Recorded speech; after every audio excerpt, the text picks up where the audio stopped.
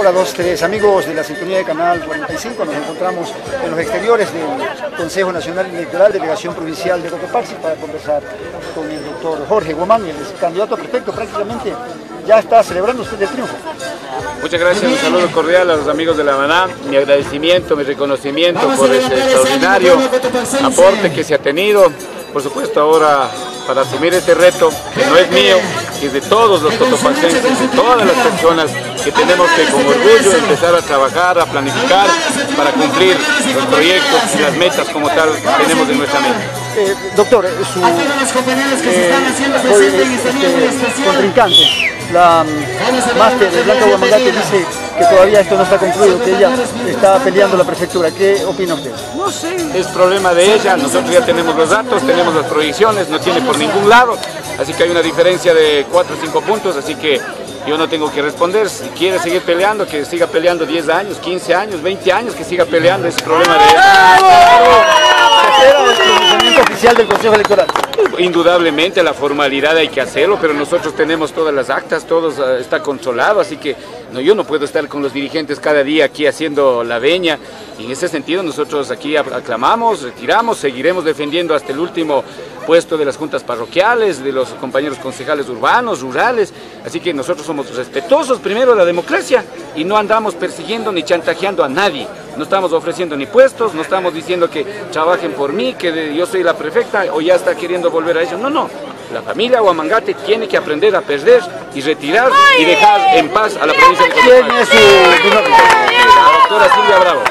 Velázquez Ibarra dijo en su debido tiempo que todo vice es un conspirador asalariado a tiempo completo. ¿Qué opina usted? No lo sé, yo confío en la palabra de la compañera, tiene una formación, tiene una ideología, no todas las mujeres son iguales, ojo, aquí hay una formación, aquí hay una intelectualidad, aquí hay una, hay- hay- no hay ansias, no hay ansias del poder, así que confiamos, haremos un equipo y con la experiencia vivida, a lo menos tenemos... Con la asesoría de- del doctor Humaginga, actual. No, mi asesor es la, la gente es asesor, el pueblo es asesor, yo no necesito asesores nadie, no, no. ellos me van a dar la, la forma de asesorar. Vamos a romper los esquemas distintos, vamos a hacer. No una persona hace la historia, sino el pueblo tiene que hacer la historia. Eh, histórico el hecho, Pachacuti recupera el poder eh, político en la provincia. Siempre somos orgánicos, tenemos estructura, tenemos formación, tenemos talentos humanos, hombres y mujeres que definitivamente tienen que desarrollar para que esto camine hacia la interculturalidad, la plurinacionalidad. Eso es nuestro proyecto. No son proyectos individuales. Nosotros no estamos ubicando a las familias, por eso andamos ansias chantajeando. No, no. Aquí hay una formación y Jorge Guamán Coronel ha preparado para ser un buen ¿Cuál político en la provincia. propuesta principal para el Cantón La Maná? Cantón La Maná, a ver, primero vamos a llegar a agradecer a La Maná, la gente consecuente, la gente que creyó en el proyecto de Pachacuti, pero algunos también siguen creyendo en la verde, siguen cogiendo regalo, y así no se hace la política. La política se hace transparente, sincero, honesto. Por supuesto, a La Maná vamos a servir con la oficina descentralizada. Y ahí La Maná, Parapango y parte de sitios tendrán una oficina con la cual vamos a potencializar a La Maná, trabajar por La Maná, apoyar a La Maná en cultura, en turismo, en su desarrollo. Lo serviremos de mucho ¿Habrá manera. equipo caminero en La Maná? ¿Habrá asfalto? No sé, asfalto no sé, yo tengo- no tengo ni, yo mismo no tengo asfalto en este momento. Estudiaremos en su momento, valoraremos en su momento. No soy un político que voy a decir ya pongo tractor, no, no. Plan organizado, disciplina que vamos a hacer en las acciones. Coordinación con todos los actores principales. Ese será nuestro eje de trabajo. Por lo tanto, unas carreteras vamos a asfaltar, otras vamos a empedrar, otras por tema de turismo vamos a mantener así rutas vivas para que pueda acceder adecuadamente. Hay varias formas.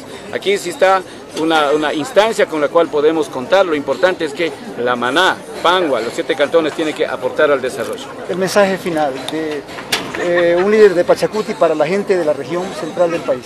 No muero todavía para decir final.